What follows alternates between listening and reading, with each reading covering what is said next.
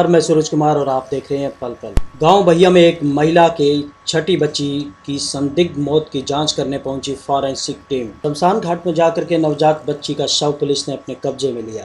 पाँच बेटियाँ पहले पैदा हो चुकी हैं, जिसमें से तीसरी बेटी की हो चुकी है मौत। फिर से छठी बच्ची पैदा होने पर दो दिन बाद हुई उसकी मौत। परिजनों पर हत्या के आरोप सहित चाइल्ड हेल्पलाइन पर मिली थी गुप्त सूचना। आप देख रहे हैं पल पल रानिया से ओपी वर्मा की ये रिपोर्ट। गाँव भैया में एक महिला के घर में छठी बच्ची पैदा होने पर दो दिन बाद उसकी सन उसे गुपचुप तरीके से शमशान घाट में दबाए जाने की शिकायत के मामले में कड़ा संज्ञान लेते हुए बाल विकास विभाग के आदेश पर एसडीएम एलनाबाद ने नायब तहसीलदार को ड्यूटी मजिस्ट्रेट नियुक्त कर जाँच के आदेश दिए हैं। नवजात बच्ची के शव की जाँच के लिए ड्यूटी मजिस्ट्रेट की मौजूदगी में शव को कब्जे में लेकर के जाँच हेतु अग्रोहा मेडिकल कॉलेज भेजा गया। प्राप्त जानकारी के अनुसार बहिया गाँव के अंदर एक महिला के घर में पाँच लड़कियाँ पहले ही हैं और छठी बच्ची फिर से पैदा हुई। कहा जा रहा है कि उसको भी मौत के घाट उतार करके शमशान में गुपचुप तरीके से दबा दिया गया। परिजनों पर आरोप लगा है, जिसकी शिकायत किसी ने चाइल्ड हेल्पलाइन पर की और चाइल्ड वेलफेयर को इसकी जानकारी मिली, जिस पर कड़ा संज्ञान लेते हुए एसडीएम के आदेश पर नवजात बच्ची के शव को फॉरेंसिक टीम ने शमशान घाट से निकाल करके पोस्टमार्टम के लिए अग्रोहा मेडिकल भेजा है। वहीं ड्यूटी मजिस्ट्रेट नायब तहसीलदार सोमनाथ ने बताया कि उन्हें उच्च अधिकारियों से निर्देश मिले हैं, जिसके तहत उन्होंने बैया गाँव में पहुंचकर नवजात शिशु के शव को ज़मीन से बाहर निकलवा करके जाँच के लिए भिजवाया है। वहीं लड़की के पिता ने पत्रकारों से बातचीत करते हुए बताया कि उनके घर में छठी लड़की पैदा होने पर उसकी खुशी में लड्डू बांटे गए थे, तथा तांत्रिक के बारे में फैलाई जा रही अफवाह सरासर गलत है। उन्होंने कहा कि किसी व्यक्ति ने रंजिश वश झूठी शिकायत की है और हमारे परिवार को फंसाने की बड़ी साजिश है।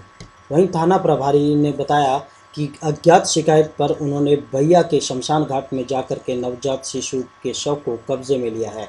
शमशान घाट से नवजात बच्ची की अस्थि पिंजर का सैंपल लेकर के नमूने लेकर के सील बंद किए हैं और जाँच करवाई जाएगी, जिसकी जाँच आने के बाद में दोषी के खिलाफ कार्रवाई अमल में लाई जाएगी।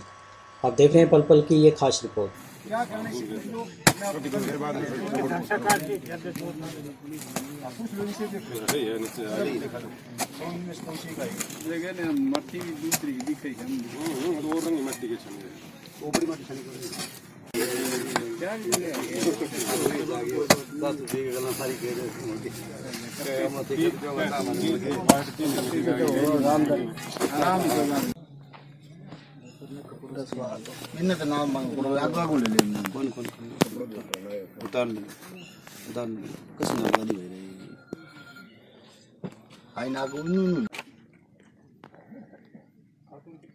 मुझे आज ही चाइल्ड हेल्पलाइन से सूचना मिली कि बाया गाँव में एक दो दिन की बच्ची को दफना दिया गया है, जिसकी मृत्यु पर संदेश जताया गया था जी।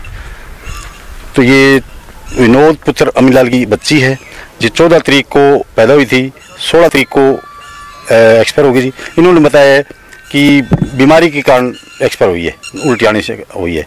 हमने डेड बॉडी को निकाल लिया है, इसका पोस्टमार्टम कराया जाएगा। जो भी हालात होंगे, उसके मुताबिक कार्रवाई की जाएगी। चाइल्ड हेल्पलाइन की अब इसका पोस्टमार्टम कराया जाएगा।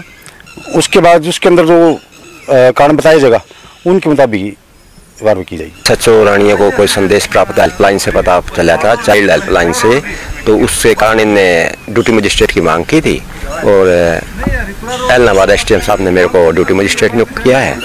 उसको ये बच्ची का शव प्राप्त हुआ है ये पुलिस को सौंप दिया गया है निकवा पुलिस के हाथ में निकवा आ गया चौदह तारीख ने बच्चों पैदा हुए हो तीन साढ़े साढ़े तीन चार बजे के करीब जमा नॉर्मल सही घरेली है आठ एक बजे से दो दिन सही रही जमा माड़ी मोटी छींक छूंक आई और सोमवार ने माड़ी मोटी उबाक सी करी बने। ठीक है बच्चा ही उबाक माड़ी मोटी करेगा फिर भी बाद में उबाक करता ही बने डी सी होगी वो। मेरी लड़कियाँ छः पैदा होगी चार है।